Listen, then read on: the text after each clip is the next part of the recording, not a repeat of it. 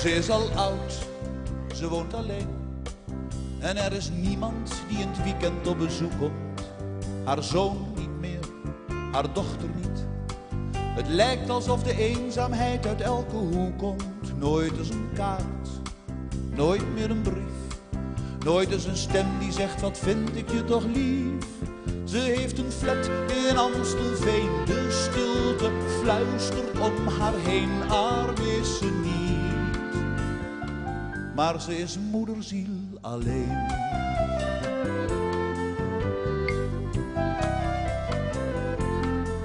De telefoon rinkelt niet meer. Ze zou niet weten wie ze nog zou moeten bellen. Haar man is dood, al 18 jaar. Er is geen mens die haar nog iets heeft te vertellen. Nooit een gesprek, nooit meer een lach. Ze kijkt tv een groot deel van de dag. Ze is niet meer zo goed ter been. De dagen rijgen zich aan één arm is ze niet.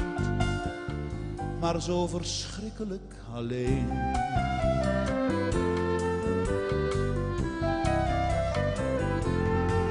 Haar haar is grijs, haar blik is dof. Ze strompelt langzaam van de keuken naar de suite. Ze drinkt haar thee voor de tv. Geen kleinkind kwam er ooit bij oma op visite. Eens in de maand, de pedicure. Maar die is ook alweer vertrokken aan u.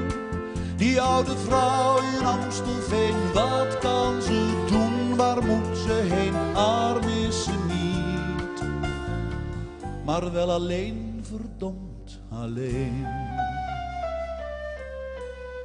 En dat is logisch, want het was altijd een takkenwijf.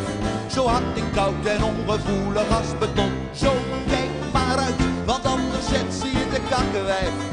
Die haar echtgenoot kleineerde en haar kinderen frustreerde. En de boel terroriseerde waar ze kon. Zo'n wijf dat elke week al vier keer bij de kapper zat. En die haar kinderen naar kostschool had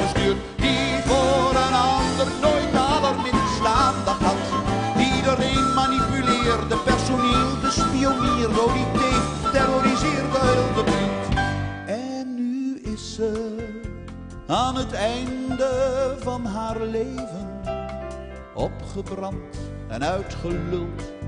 Eigen schuld, dikke bult, want het is altijd een takken